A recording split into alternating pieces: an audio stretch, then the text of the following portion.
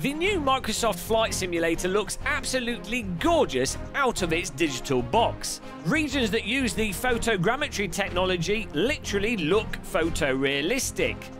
Unfortunately, London is not one of these regions, and even more unfortunately for the Queen, this has meant that Buckingham Palace has been turned into Buckingham Council Estate. Worry not though, because for a fee of just £6 and 3p, Orbx have rectified the situation with the London City Landmarks Pack. A pack that includes all the landmarks and, more importantly for the Queen, a proper rendition of Buckingham Palace. You can sip tea, she can sip tea, but is this pack worth the price of a box of tea? Let's find out in this video.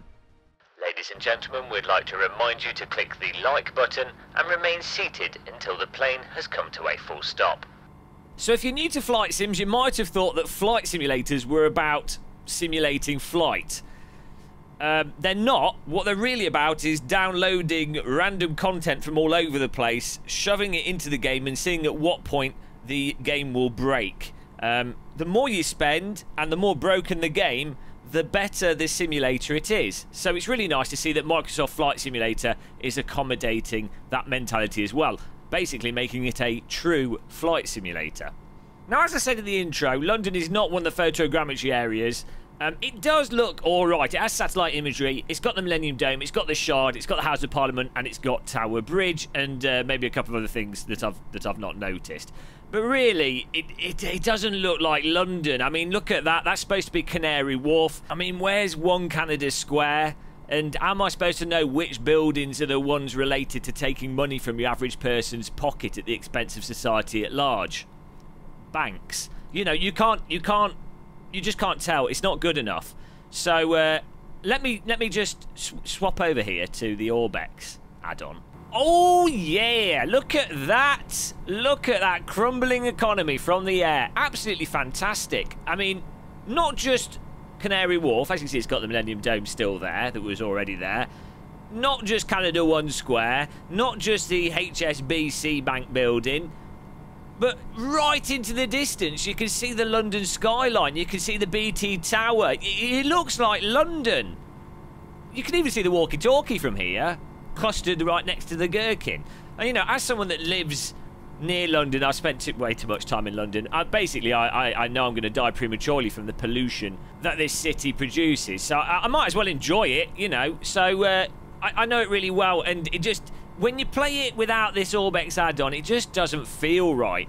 I guess if you were just travelling around and you're not, you're not from the UK, you've never been here, oh, you've never flown a plane at this altitude over Canary Wharf, you peasant. If you've never been, you know, if you've never been here, you might not notice, and if you're at high altitude, fine. But if you're, you know, you really like doing the sort of city sightseeing thing, it, it, this totally transforms things. And I think what's really surprising with the Orbx add-on is the sheer number of buildings. It's not like they've just added the major landmarks. They've they've added loads, loads and loads of buildings that um, really sort of define the street shapes and give the city its real uh, character which uh, it's just you just don't you just don't get it if you're flying in a in a Cessna at these kind of altitudes. You just don't get it with the out-of-the-box version. Skipping ahead as we approach more societal destruction businesses, you can see we've got the Gherkin. You, I don't know if the Lloyd's building's down there. That's a nice building. I mean, look, I'm giving a lot of stick to banking institutes. They do do some things. They're not completely useless.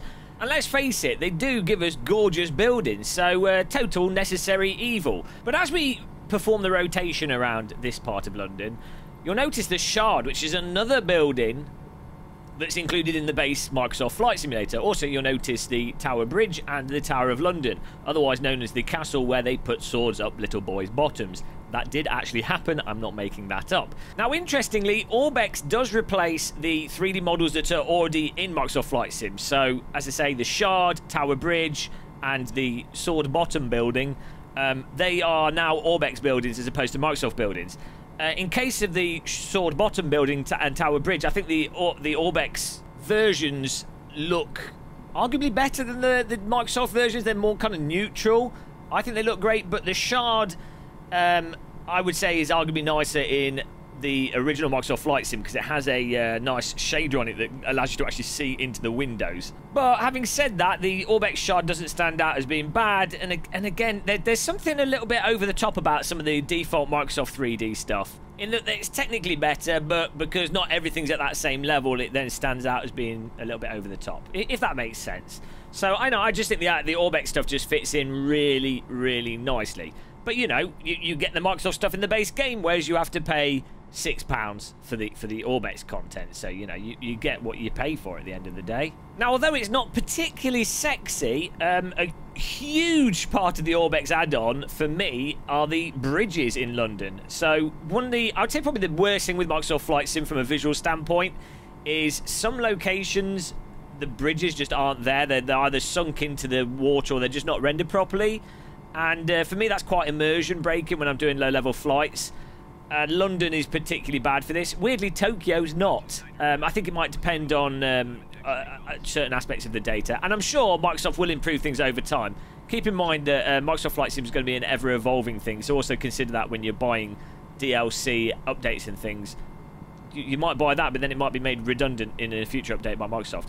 But yeah, so the, the Orbx bridges uh, are fantastic. As you say, we just went past the um, suspensiony bridge that, that connects up to where St Paul's Cathedral is there.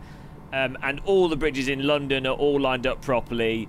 Um, Westminster Bridge, for example, um, go, which obviously goes to the uh, House of Parliament, uh, the, the, the Millennium Wheel, the rail bridges for Waterloo, the, the rail bridge that goes to Victoria train station. I don't know what that bridge is called. You know, it's all that. I mean, look at that. Just flying over Trafalgar Square. Millennium Wheel to the left and the houses of Kill All the Old People just to the right there. Um, of course, totally unrealistic because the Elizabeth Tower, which is the tower which has the clock on it, which contains Big Ben, is currently covered in scaffolding in real life and will be for a, a good few more years. So uh, actually throw it in the bin. Ter terrible add-on, not worth the money. but yeah, you know, all this stuff is there that uh, allows you to really understand what's going on. At Westminster Bridge, certainly very handy as a way to cross the river and a lot drier than having to walk through the river as it is in default Microsoft Flight Sim. So now, the real question. Is Buckingham Council Estate returned to its former glory? Indeed it is. Look at that. The palace is back intact. Look at all that tax money well spent on something that completely tackles homelessness and the issues endemic to British society. Wow! More edge than a Gillette five-blade razor. That's what you get on this channel. So, uh, before we finish things off, there's a couple of things I want to mention. Firstly, the nighttime. And rather nicely, you'll notice that the buildings have their correct lighting on them that they have in real life at night. Um, again, that really makes it stand out from the default Microsoft Flight Sim content. For example, you see the top of one Canada Square there with its uh, triangle Illuminati roof on it. Why did they do that? They're just like rubbing it in and conspiracy theorists. And the building there with the blue mesh around it. I don't know the name of that building, but uh, I believe the uh, Docklands light rail goes underneath that building, I think, or by next next to it. Anyway, so uh, yeah, works at day, works at dusk, works at night. Absolutely fantastic. It just melts into the sim and makes sense and just makes London look absolutely glorious. And almost as important as the actual quality of the content itself is the way you install the content. And I have to say, Orbx have really nailed this. Now, I've been using Orbx with X-Plane 11 for quite a while now, and it's it, they've gradually improved this side of it. Basically, you buy the content, you, you create an account on the website, you buy the content, you download the Orbx installer, and then it basically manages all your content like like some kind of Steam interface and um, once you've bought it, you just click install and it puts it into the game. There's no moving of files or fiddling around. It really is super easy to use, massively reducing the chance of you breaking and bricking your simulator. Also, when they do content updates, it will update everything as well. So you have to think about it, which is fantastic. I, I mean, I really like the modern aspect of games and flight simulators. Um, and keeping it that way. Microsoft Flight Simulator out of the box just has so much in it. I'd have to do all my Ortho4XP stuff and all this fiddling around stuff that I did with X-Plane. Out of the box, absolutely gorgeous and fantastic. Um, but if you are going to use extensions and things, the convenience you get from something like Orbx is, is fantastic as well and just allows me to be really lazy, which is what I appreciate. So, is it worth a box of tea? Um, yes, I think it is. If you like London, you want to sightsee around London, you live in the UK, absolutely 100% worth it. Though you can't trust anything I say because I got both Orbx for free um, and Microsoft Flight Simulator for free. So literally don't trust anything YouTubers say. But uh, do look at what's what, what's in this and make your own mind up. Don't be influenced. If you have been influenced, click the like button, subscribe, and we're not doing a special offer on channel memberships where for 4.99 in your currency denomination you uh, your comments get displayed at the top and um, I will reply to them just like I reply to every other comment. Uh, but your text will be highlighted in live streams. So that that's an option right, we're just landing at uh, we're landing at London City. This is the Orbx London City. You don't get this in that London additional thing. And London Orbx London City, Orbx London City does cost a lot more, and I actually wouldn't recommend getting that unless you're a crazy flights in person. But the London buildings are 100% six pounds worth it. London City airports, if you're a mental flight simmer, maybe worth it, but not for the more casual people such as myself. Anyway, guys, Thank you very much for watching. Until the next one, happy tea drinking, happy flight simming, and goodbye.